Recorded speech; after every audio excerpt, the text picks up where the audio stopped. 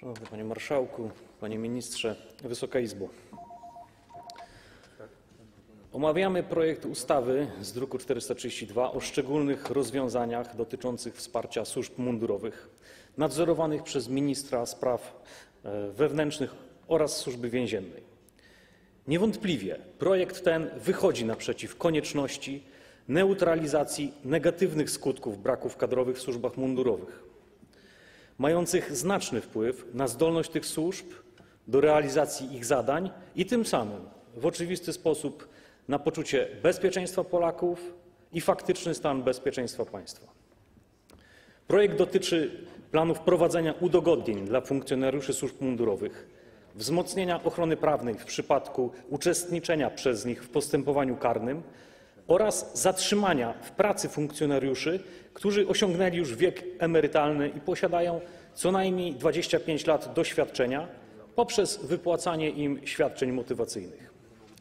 Projekt zakłada także wprowadzenie lepszych, bardziej komfortowych warunków pracy, takich jak organizacja posiłków oraz napojów lub, jeśli jest to niemożliwe, wypłacaniu ekwiwalentu pieniężnego jako rodzaju diety żywieniowej oraz finansowego wyrównania za niewykorzystany urlop.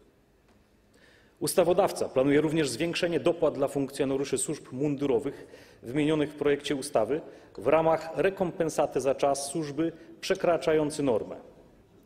Jak wskazane jest w uzasadnieniu, zaproponowane zmiany, zaproponowane zmiany mają właśnie zrównoważyć możliwość realizowania zadań mimo braków kadrowych w służbach. Zmiany te należy uznać za korzystne i oczekiwane.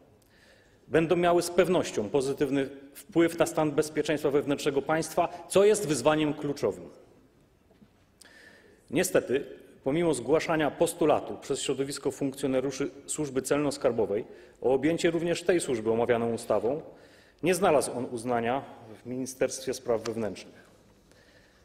Nawet pomimo przywoływanego przez środowisko Służby Celno-Skarbowej pozytywnego zaopiniowania tego postulatu przez ministra finansów nadzorującego tę służbę.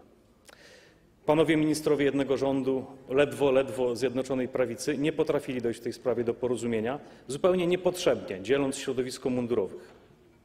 Skoro projekt zyskał poklask i aprobatę już na wstępie, to należało objąć nim również zainteresowaną formację. Mam nadzieję, że te poprawki zostaną przegłosowane i tak się stanie. Służba dla coraz mniej, ale jednak ciągle niepodległej Rzeczypospolitej to zaszczyt i wielki honor.